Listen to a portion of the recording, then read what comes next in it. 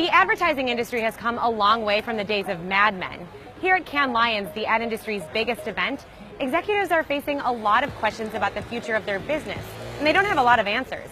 We surveyed the field to find out what experts here think are the biggest talking points in the advertising industry. The first thing we found digital means people are taking in content and ads anytime, anywhere.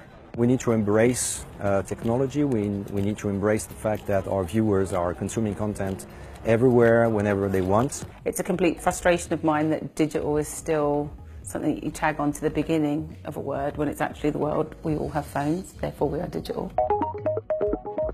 That brings us to our second theme data is money. Historically, you would put money out there and there was no way to understand if you actually got anything in return. And now there's very, very easy opportunities to spend a dollar and understand if you made $2 or $3. New players from consultancies to blockchain startups are working to track and monetize data in advertising. Brands and uh, creators have become a little bit too concerned about owning all the data and interacting with too much of the data. One thing that might curb this data addiction new privacy rules like Europe's General Data Protection Regulation, or GDPR. If people don't comply with the rules, there's real consequences, where in the past that hasn't been the case. Another major topic brands want control over their ads. For many companies, this has meant teaming up with influencers who create their own content on platforms like Instagram or YouTube. So in some ways, they're better than some of the brands might be at creating that content in the first place. They've created amazing content for, for their own brand, so they know how to, they know the brand guidelines themselves.